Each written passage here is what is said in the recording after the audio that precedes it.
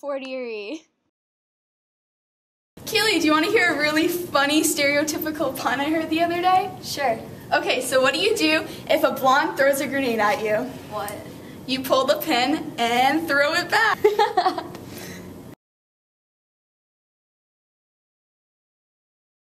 Hey, Meg. Be careful, don't get jumped.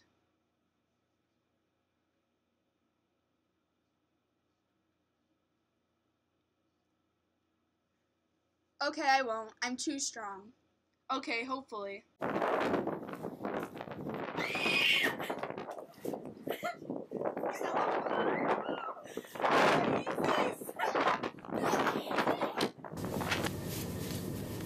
Are you okay? You froze like a statue.